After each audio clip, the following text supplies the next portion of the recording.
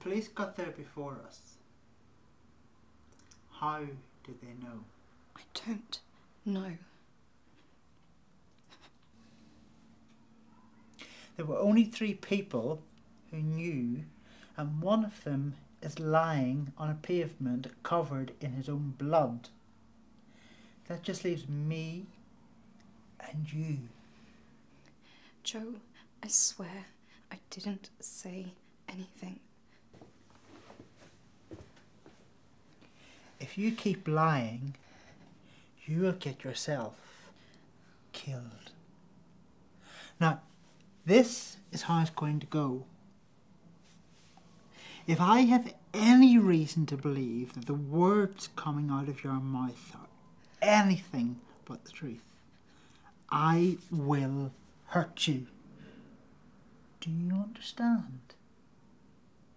I said, do you understand? Yes! Good, good. Now, who did you tell?